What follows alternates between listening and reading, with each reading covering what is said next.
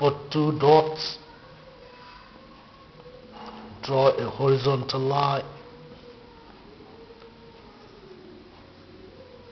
draw two radial lines and join them with a zigzag line. Draw whiskers, draw whiskers here, draw two radial lines and join them with a zigzag line. Draw two radial lines here and join them with zigzag line. The catfish is ready.